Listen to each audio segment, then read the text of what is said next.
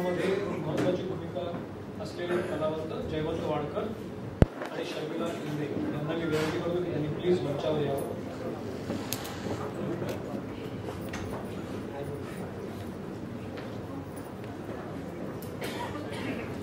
मला खात्री आहे की यातल्या संवादांनी माझं लक्ष विषय फारच उत्तम संवाद आहे. आणि संवादांमधून कॉन्फ्लिक्ट म्हणजे राजेशजींना विशेष पावती येते की विलक्षण इंटरेस्टिंग वाटतात संवाद मला दिग्दर्शकाकडे येईनच नाही कारण कॅप्टन तो आहे. पण त्यापूर्वी वाडकरजी तुम्ही इतक्या सिनेमांमधून काम केलंय इतक्या वेगवेगळ्या भूमिका केल्या. त्यातही याच्यामध्ये एका दोन तीन फ्रेममध्ये वेगळा स्ट्रेस दिसतो. याची ह्या भूमिकेबद्दल काय सांगतो ऑफकोर्स वेगळी भूमिका आहे. पण मला दिग्दर्शकाने सांगितलं काही नाही करायचं. पण खूप मजा आली काम करताना. ऑफकोर्स दोन दिग्गज लोक होती. त्या दिग्गजांबरोबर काम करायला खूप मजा आली. मामांबरोबर का मी अशोक मामांबरोबर पहिली फिल्म केली होती एकोणीशे पंच्याऐंशी साली. त्यानंतर आमचा प्रवास आज असाच चालू आहे. आता बरेच पिक्चर आमचे येत आहेत. आणि खूप मजा येते त्या माणसाबरोबर काम करण्याची शिस्त. आणि इथे सुद्धा काम करताना शिस्त सगळ्याच गोष्टी असतात. आणि माधवबद्दल काय बोलतो इज फॅन्टॅस्टिक ऍक्टर बेसिकली आणि त्याबरोबर काम करताना खूप मजा आली. खूप कम्फर्ट लेवलवर नेऊन त्याने काही गोष्टी मलाही सांगितल्या आणि त्याचा उपयोग होतो. आणि नेहमीच आपण काहीतरी शिकत असतो. जसं या फिल्मपासून मी शिकलो. आणि ऑफकोर्स राजेश आणि साहिल खूप तू म्हटलंस ते बरोबर आहे. कारण राजेशने आमची चष्मेबाद तर एक फिल्म दिली. विजय पाटकरची तेव्हापासूनच मी त्यात नव्हतो पण मी करणार होतो काम. पण तेव्हापासूनची ओळख ही ही खंत बोलून दाखवली. नाही म्हणजे त्याची करता नाही ती विजय पाटकरची आहे. हे विजय पाटकरसाठी. पण एनिवे पण ते खूप छान डायलॉग्स लिहिलेले आहेत. गाणं मी आज प्रथम ऐकलं आम्ही पण खूपच गाणं छान आहे राजेश. खूपच मस्त. व्हेरी नाईस साहेब तुझ्याकडे येईन. शर्मिला अं, तू बऱ्याच दिवसानंतर म्हणजे छोट्या पडद्यावर आम्ही तुला पाहतच असतो वेगवेगळ्या भूमिकांमधून नाटकांमधून. पण आता सिनेमा स्वीकारताना तू हा स्वीकारलेला दिसतोयस आणि त्यामध्ये दिसतेस तू डॉक्टरच्याच भूमिकेमध्ये काही तर काय तुझी भूमिका याच्यामध्ये काय आहे? आणि ती घेण्यामागचं कारण काय होतं?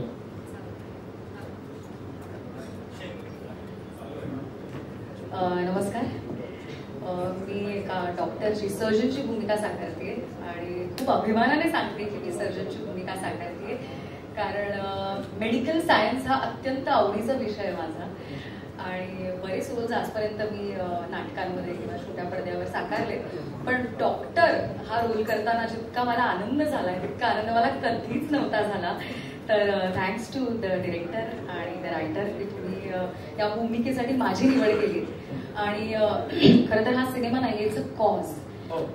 आणि या हा खूप मोठा कॉज आहे या. आणि या हा जो मेसेज हा जो संदेश या सिनेमामधून मिळणार आहे तर ह्या सिनेमात एक खूप मोठी महत्वाची घटना घडणार आहे. ती माझ्या हस्ते किंवा त्याचा एक मी. भाग आहे. तो सीन खूप महत्त्वाचा आहे या सिनेमामधला. आणि त्या सीनचा मी एक मोठा भाग आहे. त्याचा मला खूप अभिमान वाटतो याच्यामध्ये तू कॉज सांगू नकोस नाही पण सांगणार. एखादी भूमिका आपण स्वीकारतो या गोष्टीचं काय महत्त्व वाटतं तुला? ही गोष्ट का महत्वाची आजच्या काळात? मला असं वाटतं आपण ज्या समाजात आता राहतो तो खूप साऱ्या अंधश्रद्धांनी ग्रस्त असलेला समाज आहे. आणि त्यातलीच एक खूप मोठी अंधश्रद्धा या सिनेमामधून आपण काय म्हणतो ती आपल्या डोक्यातून मनातून दूर जाणार आहे त्याचं निर्मूलन होणार आहे त्या अंधश्रद्धेचं. तर त्यामुळे हा सिनेमा महत्त्वाचा आहे आणि त्यामुळे हा रोल स्वीकारताना खूप छान वाटलं. वा. या सिनेमातली अभिनेत्री हेमांगी कवी आलेली आहे. मी तिला विनंती करतो यावं. तुझं स्वागत आहे हेमांगी. हाय. आल्या आल्या मी तुला लगेचच बोलतं करणार आहे. आता मी ट्रेलर बघितला. वेगळी फिल्म आहे वेगळा विषय आहे. जो ट्रेलर मधून ऑलरेडी दिसलाय. हो. तू नेहमी अशा रिअलिस्टिक सिनेमांमधून दिसत असतेस. तसे सिनेमे घेतेस. हो. मला हा सिनेमा तुला काय विशेष वाटतो? तू सांगावं असं वाटतं. आत्ताच मी शर्मिलेला बोलताना ऐकलं आणि मी ते स्वतः मान्य करते. सो आपण जी फिल्म करतो ना त्यात आपण ऐंशी टक्के विश्वास ठेवत असतो. आणि साहिलला जे म्हणायचंय त्याच्यात मी बिलीव्ह करत होते. आणि ते अं, सहजासहजी ना कलाकारांना म्हणजे ऍक्टर्स लोकांना जे म्हणायचं असतं ते इतक्या मोठ्या लेवलला मांडता येत नाही. पण डिरेक्टर असा भेटतो आम्हाला की आम्हाला पण ते म्हणायचं असतं आणि डिरेक्टरने विचारलं की मी लगेच हो म्हणते. त्यामुळे रिअलिस्टिक सिनेमापेक्षा हा विषय जास्तीत जास्त लोकांपर्यंत फिल्मच्या माध्यमातून पोहोचवतोय. आपण लिहितो मी तर तुम्हाला सगळ्यांनाच माहिती मी खूप काही काही लिहितच नाही. सो ते किती लोकांपर्यंत पोहोचतं मला माहीत नाही. पण फिल्म असं एक माध्यम आहे जे बोलायला पाहिजे जे मला पण बोलायचं असतं ते या फिल्म मधून जर बोलता येत असेल तर वा. का नाही? मला असं वाटतं की हा स्ट्रायकर आहे. त्यानंतर मीडिया तुझ्याशी बोलेलच. त्यावेळी तू आणखी पण तुम्हा तिघांचे मी आभार मानतो. तुम्ही. आवर्जून इथे आला आणि वेळ दिला. प्लीज बसून घ्या Yes. साईड तू थांब आणि आता एकदा जोरदार टाळ्याने स्वागत करूया. या सिनेमाचे दोन अभिनेते अं, अशोक चव्हाणजी आणि माधव अभ्यंकर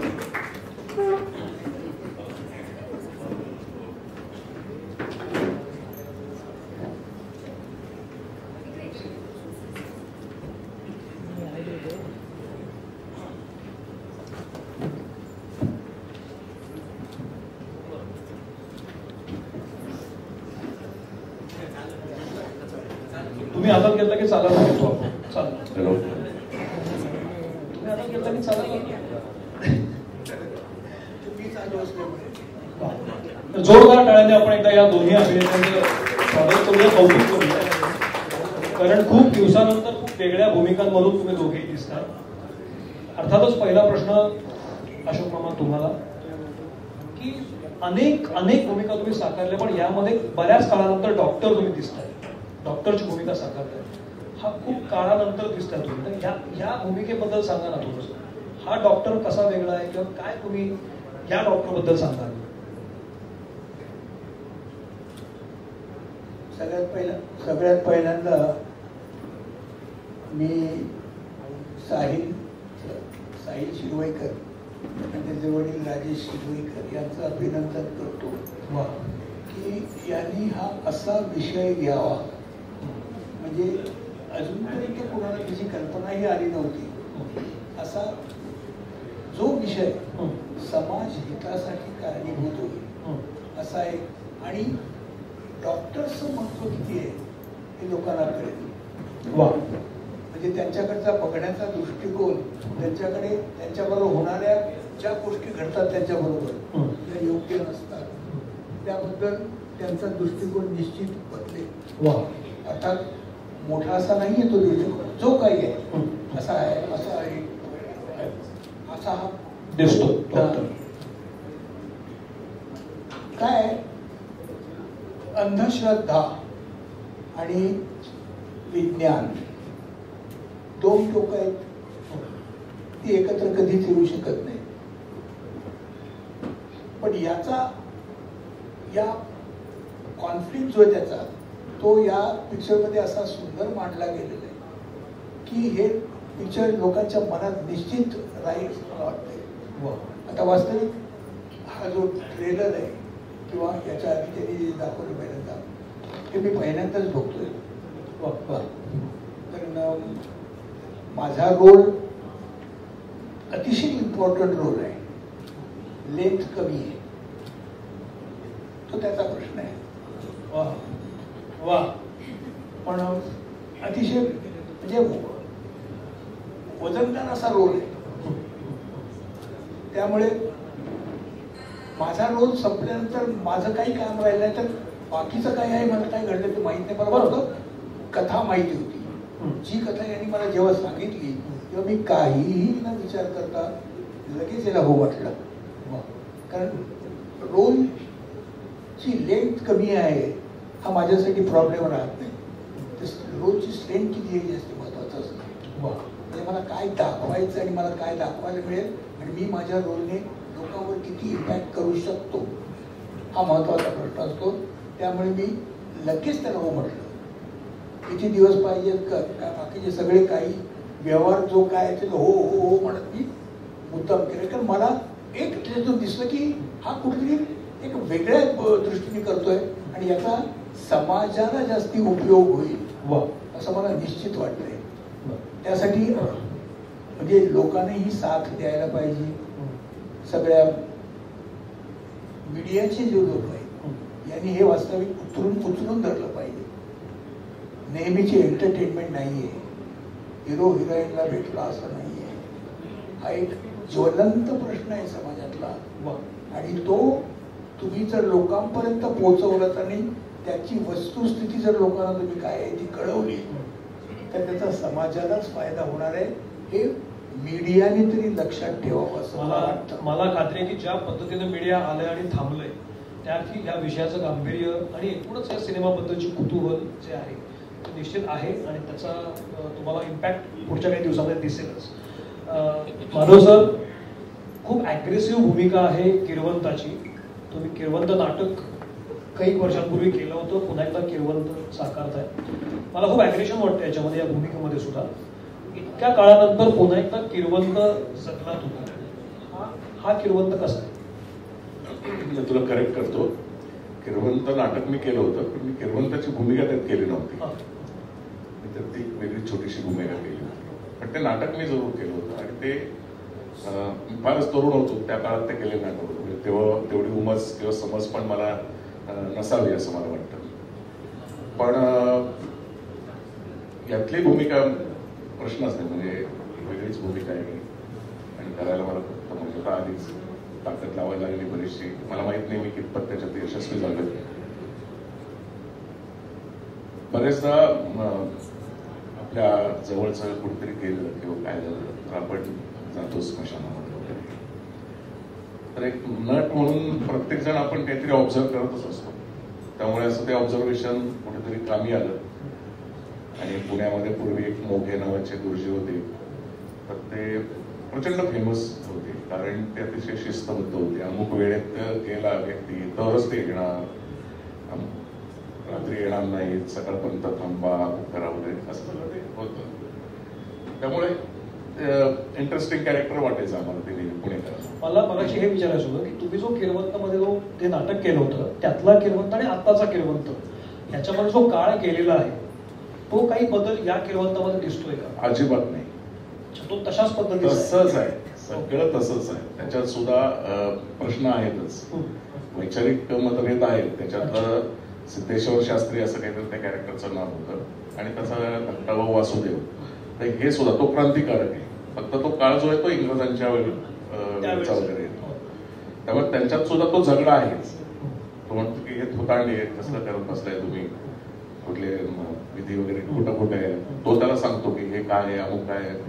नाही तर मग आपण जगणार काय परंपरेने आपल्याकडे ते तसंच आहे. तसंच आहे.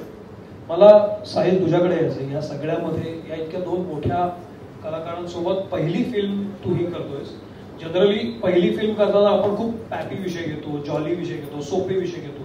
पण पहिली खूप तगडी फिल्म घेऊन आला असतो महत्त्वाचा विषय घेऊन आला असतो तर हा विषय पहिल्या फिल्मसाठी निवडावा असं का वाटलं त्या प्रश्नापर्यंत मी येतोच पहिलं. थँक्यू सगळ्यांना. पहिलं इकडे पावसामध्ये एवढ्या भर पावसात पाणी बिणी तुमलं असताना सगळे तुम्ही इकडे आलात. मान्यवर मीडिया सर्वजण ऍक्टर्स त्याच्यासाठी पहिलं तुमचा धन्यवाद. तुम्ही खूप लांबून ट्रॅव्हल करून आलात. त्याच्यासाठी धन्यवाद. बेसिकली ही जी फिल्मची जी स्टोरी जाते जसं आपण सेकंड ऑगस्टला रिलीज होतो तेव्हा तुम्हाला कळेलच ही आमच्या आयुष्यात घडलेली गोष्ट आहे. म्हणजे माझ्या खूप जवळच्या नातेवाईकांच्या लाईफमध्ये झालेली गोष्ट आहे. तिथून माझ्या बाबांना इन्स्पिरेशन आलं होतं की ह्या गोष्टी जर अशा लोकांना सांगितल्या गेल्या तर समाज म्हणून आपण जे जसं हे बोलले एटी फाय एटी सिक्समध्ये होतो दोन हजार चोवीसला आपण तिकडे जाणार. आजचं जे प्रोग्रेशन आहे विषयाप्रमाणे की काही मिसबिलीफ्स आहेत म्हणजे काही चुकीचे मेसेज आपल्याला गीतेमध्ये असं आहे किंवा आपल्या परंपरेत असं आहे सांगून पुढे गेलेले आहे पण ते तसं नाही आहे. फिल्म लिहिताना आम्ही गीता स्टडी केली. आम्ही आपल्या पुराणातले काही ग्रंथ आहेत त्याच्यामध्ये मेन्शन आहेत मॉडर्न मेडिकल सायन्सनी जे आम्ही याच्यात दाखतोय जे डॉक्टर देसाईंचं कॅरेक्टर अशोक सराफांनी केले ते त्याही बाबतीत कसे हुशार आहेत. त्यांना माहिती आहे गीतेत काय मेन्शन आहे काय नाही. कारण त्यावेळेला सुद्धा जसं बऱ्याच वर्षाआधी महर्षी ऋषी ज्यांना म्हणतात फादर ऑफ सर्जरी ते ते त्या वेळेपासून आहे मेडिकलमध्ये होते. तर ते फक्त लोकांपर्यंत कसं पोहोचलं पाहिजे? रूढी परंपरामध्ये काही लोकांना मिसअंडरस्टँडिंग झालेली असते काही चुकीचे मिसबिलीफ आहेत त्याच्यामध्ये लाखो लोकांना नुकसान होते कशा पद्धतीने होते ते फिल्ममध्ये कळेलच. स्टोरी लाईन इकडून आमची स्टार्ट झाली की त्या परंपरा आणि आजचा सायन्स आजच्या काळामध्ये जर एकमेकांसमोर आलं इनफॅक्ट एकमेकांसमोर कॉन्फ्लिक्टपेक्षा ते जर एकत्र झाले हो तर अख्ख्या समाजाला फार मोठा बेनिफिट होईल. आता ते कशा पद्धतीने होईल ते होईल की नाही होईल जसं हे बोलले की मेंटॅलिटी जी एक होती किरवंत किंवा याच्यामध्ये काही लोक झाले प्रोग्रेसिव्ह फिल्ममध्ये सुद्धा आपल्या आहेत. काही ती परंपरा चुकीच्या पद्धतीने धरून बसले त्यांच्यामध्ये ते चेंज येतं की नाही येत? आपण युजली म्हणतो सगळ्या फिल्म हॅपी एंडिंग असतात मराठीमध्ये काही नसतात. काय होणार आहे या फिल्ममध्ये हे एक्झॅक्टली तुम्हाला सेकंड ऑगस्टला वा वा. फिल्म दोन ऑगस्टला येते आहे. आणि एक दोन छोटे प्रश्न घेतो मग आपण. थांबूया. सर तुमच्याकडे येतो मी. जनरली जेव्हा नवीन डिरेक्टर स्क्रिप्ट घेऊन येतो की नौखा आहे मुलगा आणि तुम्ही इतकं काम केलेलं आहे तर असा काय क्रायटेरिया होता की नाही मी याच्याबरोबर करीन काम? फक्त स्क्रिप्ट चांगली असणं हा एक भाग झाला पण दिग्दर्शक त्याला नीट न्याय देईल की नाही ही एक भीती असते आपल्यामध्ये. साहिलच्या बाबतीत तुम्हाला असं का वाटलं की करूया चल मुळात म्हणजे असं आहे की ही असली थीम करायचं कॉन्फिडेंटली जो ठरवतो त्याचा त्याच्यामध्ये निश्चित काहीतरी अभ्यास असलाच पाहिजे. बरोबर. बरं मी जेव्हा हे हा रोल करायचा ठरवलं तेव्हा मी बाकी काही नाही विचार केला की हा रोल मला करण्यासारखा आहे किंवा काही वेगळे पण आहे की नाही? किंवा आतापर्यंत जे केलं त्यापेक्षा काहीतरी वेगळे पण आहे की नाही हे मी शोधत होतो. आणि ते मी नेहमीच शोधत असतो. तर मला त्याच्यात दिसलं हे काहीतरी वेगळं आहे. मग असा जर असा एखादा रोल असेल तर तुम्ही किती मोठा आणि किती लहान आहे नाही बरोबर कारण आपल्याला जे करायचं ते लोकांपर्यंत आपल्याला पोच पोचवायला पोचवता येतंय की नाही? हा मोठा प्रश्न असतो. आणि सगळ्यात म्हणजे एकंदरीत जर विचार केला जर त्या स्टोरीचा विचार केला तर स्टोरीमध्ये हिरो आहे हिरो आहे स्टोरीला पण स्टोरीचा हिरो एक वेगळाच आहे. अच्छा वा. ओके स्टोरीला हिरो आहे पण स्टोरीचा हिरो वेगळाच आहे. खतरनाक सगळं कळलं तुला असेल. मला सांगायचं नाही कोणाला. मी सांगितलं त्याची मजा आहे. ह्याच्यात सगळं आहे. मला जवळपास सुद्धा सांगायचं नाही. हे केलं आम्ही मग ते केलं मग ते असं नाही. ठीक आहे. बघा. तुम्ही जा तुम्ही बघवा तुम्ही ते जाणवून घ्या स्वतःला. आणि त्याप्रमाणे तुम्ही जर समाजामध्ये काहीतरी करायचं ठरवलं सगळ्या लोकांनी की आपण काहीतरी वेगळं करूया याच्यात तर बरंच काही होऊ शकतं. मी अजून जवळ जात नाहीये. पण मला सांगायचंच नाहीये लोकांना काय केलंय. कारण ही गोष्ट त्यांनी अशी काही करून ठेवलेली आहे ना की अशी ती सांगून फुकट नाही करायची. सिनेमावर दिग्दर्शकीय पकड चांगली आहे. सिनेमावर दिग्दर्शकीय पकड चांगली आहे. कोणाची? दिग्दर्शकाची पकड चांगली आहे म्हणलं. एकूणच सिनेमावर. काय कशा करता मला नाही तुम्ही की नाही नाही, मी नाही सांगत नाही सांगत. जे तुम्ही आता सांगता ना किती चांगलं कॉम्बिनेशन पण त्याला मला त्याच्यासाठी सांगायचं ना कारण मला माहिती आहे ना काही जण पचकून सगळं स्टोरी सांगून बसतात. आणि लोक म्हणजे आहेत ती जायगीतच म्हणत बसल्या असं आहे अशा सगळ्या या दोन एक्क्यांना कसं कन्व्हिन्स केलंस तू? साहिल तू सांग. कन्व्हिन्स करणं म्हणजे करणेस कन्व्हिन्स करणं हा एक वेगळा टास्क आहे पण त्यांनी हे स्वीकारणं ही माझ्यासाठी खूप मोठी गोष्ट आहे. पहिलीच फिल्म असताना करेक्ट बेसिकली माधव सरांना मी बऱ्याच टाइमपासून ओळखायचो. आणि अशोक सरांना जेव्हा मी भेटलो तेव्हा त्यांनी विचारलं ही भूमिका कोण करते? म्हटलं माधव अभ्यंकर हे होतं. आणि काय बोलले नाही. एक्झॅक्टली कारण तुम्ही जर एक किरवंत आता साधारण वेश डोळ्यासमोर दोन डोळे बंद करून आणलं गारे डोळे वेगळा असा उभा. ते त्यांनी मला म्हणजे नाव सांगितलं आणि त्यांना बरोबर पटलं. पण झालं काय आहे फिल्मची ओव्हरऑल जर तुम्ही कास्ट बघितली तरी खूप अनयुज्युअल कास्ट आहे. की अशोक सराफ सर डॉक्टरच्या भूमिकेत त्यांच्या अगेन्स्ट एक किरवंत माधव सर त्याच्याबरोबर साथीला जयवंत वाडकर सर शर्मिला हिमांगी भरत दाभोळकर सर अजूनही काही ऍक्टर्स आहेत छोट्या छोट्या टाईम भूमिकेमध्ये. म्हणजे असं नाही की कोण उभा झाला दोन मिनिटं दिसला आणि त्यांनी स्टोरी पुढेच गेली नाही ओळखीचा म्हणून घेतला. हे नाही. पण त्या स्टोरीला किती इम्पॉर्टन्स आहे. सेकंड दुसरी गोष्ट मला अशोक सरांनी सांगितलेली आम्ही त्यांच्या घरी एकदा डिस्कस करू तेव्हा. की मराठी फिल्म ज्या आता हल्ली काही काळात बनल्या आहेत ना तो जो मराठी फिल्मचा एक दर्जा होता जो सरांनी त्यावेळेला जगलाय. मी तेव्हा जन्म पण माझा नव्हता झाला. मी सरांचा तो प्राईम बघितलाच नाहीये जो माझ्या बाबांनी आणि त्यांच्या एज ग्रुपना माहिती आहे सरांना माहिती आहे तो मी बघितलाच नाही. पण जेव्हा मी फिल्म मेकिंग शिकलो तर युजली लोक हॉलिवूड आणि हे याच्यामध्येच राहतात.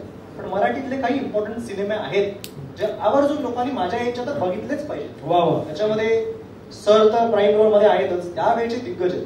मे बी तो इन्फ्लुएन्स होता की दिसताना तुम्हाला आठ मोठे कलाकार तर प्रत्येक कलाकार काहीतरी त्या टेबलवरती आणतो. देतो. आणि माझ्या एज प्रमाणे जर आमच्या एजचे अजून जे काही डिरेक्टर्स असतील तरी तो दर्जा परत आणणे हे खूप इम्पॉर्टंट आहे. की आपण मला- हेच वाटतं की दर्जा परत आणला पाहिजे आणि त्यासाठी आपण सगळे झटतो आहोत. तर मी तुमच्या तिघांचे आभार मानतो की तुम्ही आवर्जून वेळ दिला आणि याबद्दल बोललात तर आता आपण पुढच्या टप्प्याकडे जाऊया. की सिनेमातल्या सगळ्या कास्ट क्रूला एकदा इथं बोलवतो. आपण एकदा फोटो ऑपॉर्च्युनिटी घेऊया. तर सिनेमातले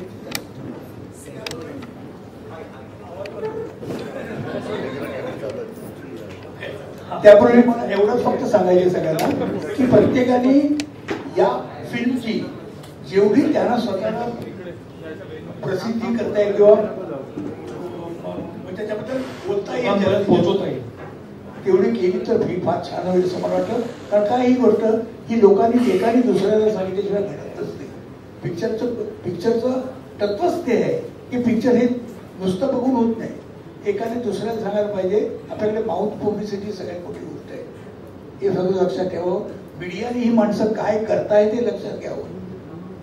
उगाच फेकू नये कारण सब्जेक्ट फार हेवी आहे. आणि तो कॅरेक्टरायझेशन चांगलं झाल्यामुळे चांगला वाटू शकतो. आता मी पहिल्यांदाच मी बघितले दोन्ही त्याचे व्हिडिओ मी आज पहिल्यांदा बघितले. पण त्याच्यात एकंदर मी ते जे कठीण खूप लावलेले आहेत आणि जे दाखवले ना ते अंगावर इतपत अंगावर येणे इतपत आहे. हो हो. तेव्हा हे अंगावर येणं हे बाकीच्या सगळ्या गोष्टीतून झालं पाहिजे. तर तुम्ही म्हणजे मीडियाला सांगतो मी प्रेसच्या रूपात सांगतोय किती ह्याच्यावर तुम्ही विचार कराल? आणि ह्याच्यातलं किती उपयुक्तता तुम्ही शोधाल हे अतिशय चांगलं होईल. मी पिक्चरच्या दृष्टीने म्हणत नाहीये. मी समाजाच्या दृष्टीने म्हणतोय. तेव्हा एवढं जर लक्षात होईल तू उठलास म्हणजे मी थांबायला पाहिजे.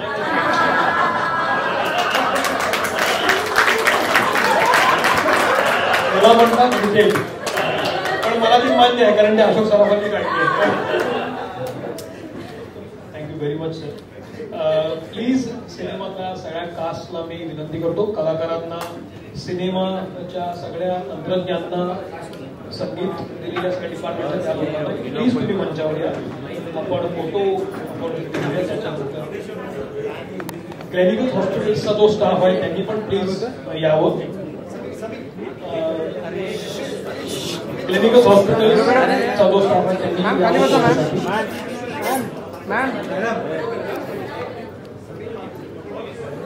सिनेमातले सर्व तंत्रज्ञ कलाकार मेडिकल हॉस्पिटलचे सर्व मान्यवर यांनी यावं मीडिया पहिला शॉर्ट्स घेऊन दे फोटो घेऊन